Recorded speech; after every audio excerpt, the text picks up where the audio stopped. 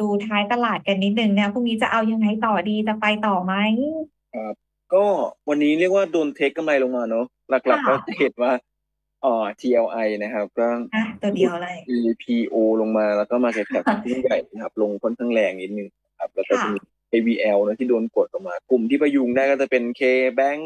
อืมแบปตงค์ทปตทสพนะครับ บ้านปู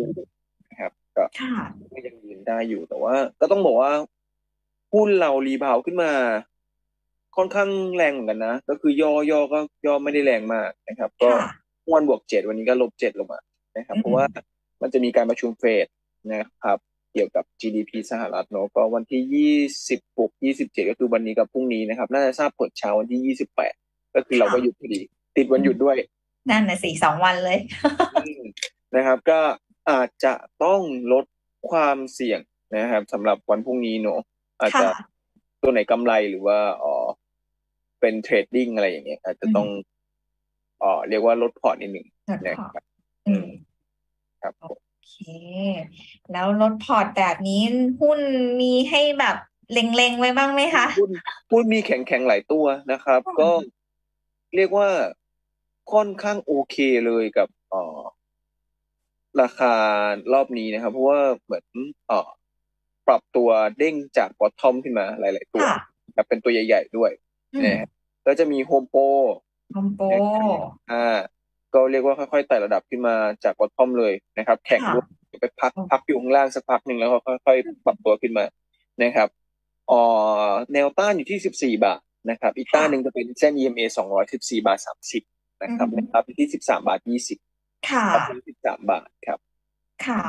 อีกตัวหนึ่งก็จะเป็นสตาร์นะครับอ่า สตาร์ก็แนวต้านอยู่ที่ 4 บาท 48 ถึง 4 บาทค่ะนะครับ แนวรับอยู่ที่ 4 บาท 30 จุด stop loss ที่ 4 บาท 24 ค่ะ ครับผมโอเคอะสองตัวนะครับสปาร์คแล้วก็โฮมโปรนะคะครับเลย TFEX ราคาพี่คิว TFEX นี้เป็นซีรีส์อะไร series U นะใช่ U ไหมเนาะจ้ะซีรีส์ยูก็ ยังยืนดีนะครับ วันนี้ TFEX ยังยืนยังยืนเมื่อวานเนี่ยมันมี low อยู่ที่เก้าสี่หนึ่งนะครับ วันนี้ปิดไปที่สี่ห้าตอนนี้อยู่ที่เก้าสี่ห้าอืมนะครับก็ยังไม่ได้ทำ low ใหม่นะครับ แนวรับก็อยู่ที่เก้าสี่หนึ่งนะครับ ไม่ค่ะควรหลุดเนาะก็ถ้าไม่หลุดก็อาจจะเล่นฝั่งรองได้ก็แต่ว่าอย่างที่บอกไปว่าพรุ่งนี้เทรดวันสุดท้ายแล้วก็หยุดก็อาจจะเล่นในกรอบแคบๆนะครับ แนวต้านอยู่ที่อ่าเก้าห้าสุดเก้าห้าศูนย์นะครับโอเคทองอะคะ ทอง อ๋อ